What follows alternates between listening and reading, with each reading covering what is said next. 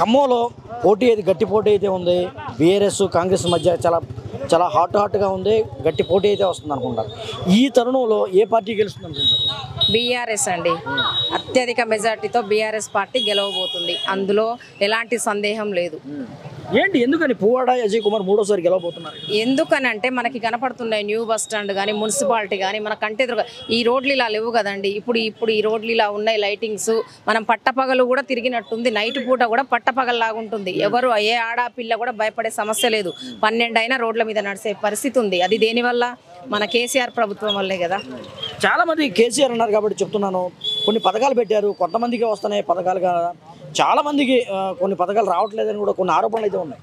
పథకాలు అంటే అండి పథకాలు పెట్టారు. వాళ్ళకి అను అనుకూలంగా అన్ని చేస్తూనే ఉన్నారు. కానీ ప్రతి ఒక్కటి చేయలేరు కదండి. మళ్ళీ ప్రభుత్వం వస్తే మిగతా వాటిని కూడా అమల్లోకి తెస్తారు. అవన్నీ గ్యారెంటీలు ఇచ్చిన గ్యారెంటీ మీకు పది సంవత్సరాలు ఇచ్చారమ్మా టైం ఇచ్చారు. పది సంవత్సరాలు అభివృద్ధి చేయమని మీకు సంవత్సరాల అభివృద్ధి మన కళ్ళెదుట కనపడతానే ఉంది కదండి.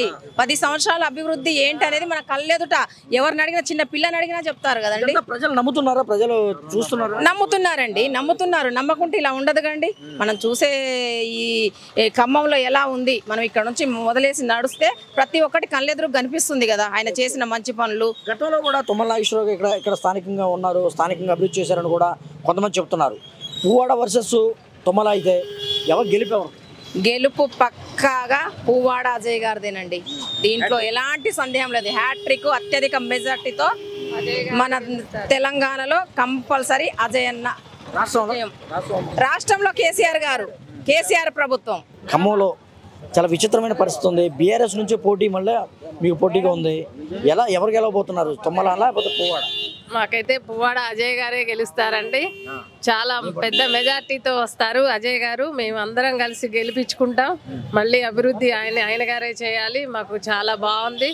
ఈసారి కూడా మూడోసారి కూడా ఆయన గారినే గెలిపించుకుంటామని మేము భావిస్తున్నామండి. తప్పకుండా గెలుస్తారు అజయ్ గారు. చాలా మంది చెప్తున్నారమ్మా పది సంవత్సరాల నుంచి పువ్వాడ గారు ఏమీ చేయలేదు.